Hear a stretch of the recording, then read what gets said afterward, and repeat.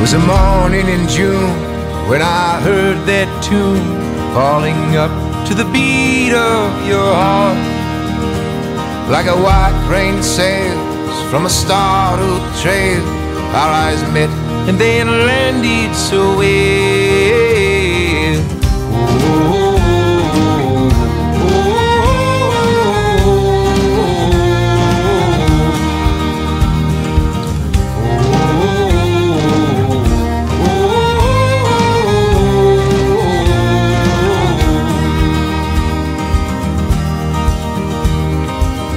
You could speak, before you could weep, I held your hand in mine like a shell on a beach, waiting for your reach, falling up to the mountain to climb. You came reassuring, Mother Nature's procuring. There's no need for doubt in this mind. You came reassuring, Mother Nature's procuring. There's no need for doubt in his mind. And our eyes align like the sun through the pines in a silent space, in a cup full of time. In these orderly ways, in this disorderly life, I let go of my hand in the jar.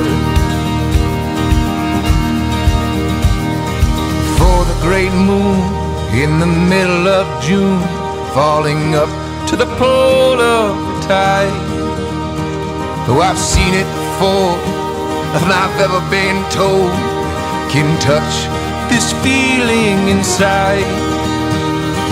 You came reassuring, Mother Nature's procuring. There's no need for doubt in his mind.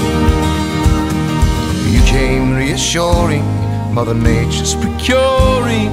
There's no need for doubt in his mind.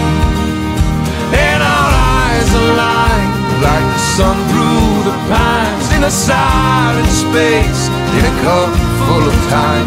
In these orderly ways, in this disorderly life, I let go of my hand in the jar. And our eyes align like the sun through the a silent space, in a cup full of time. In these orderly ways, in this disorderly life, I let go of my hand in the jar. I let go of my hand in the jar. I let go of my hand in the jar.